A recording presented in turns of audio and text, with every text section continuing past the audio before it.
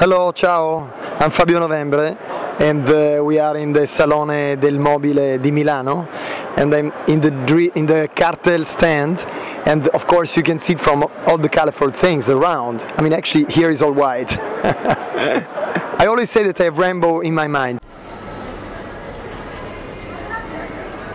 This is a very interesting uh, piece because it, it's, um, it talks about a mistake.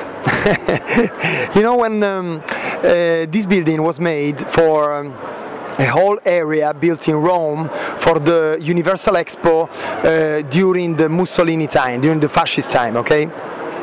They did the whole uh, area of the city, which looks quite beautiful now, but it was hated by the people of the time.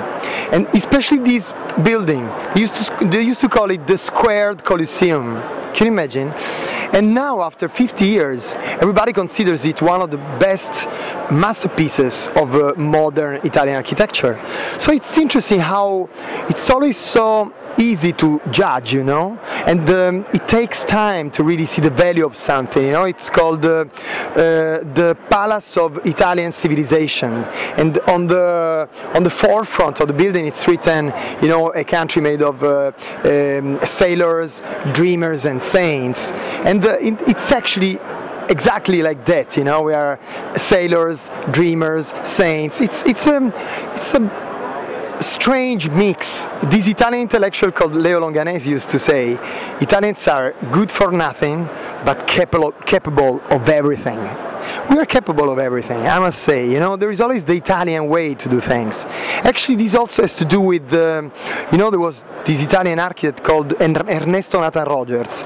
He developed this incredible slogan that was from the spoon to the city, which actually was talking about the, the Italian way to the project, you know. You, you can go from a very small scale, the scale of the spoon, to a big scale of the city. And nothing changes, basically, you know. It changes probably the attention, the time, but the, the project itself doesn't change because what you put inside, which are your main intentions, you know, the goal that you want to achieve, that's what makes the difference. And that's the Italian way, you know, so that making scaling things is very easy for us. We're, we are comfortable with that. And that's really the secret of, of the Italian way of, of approaching design.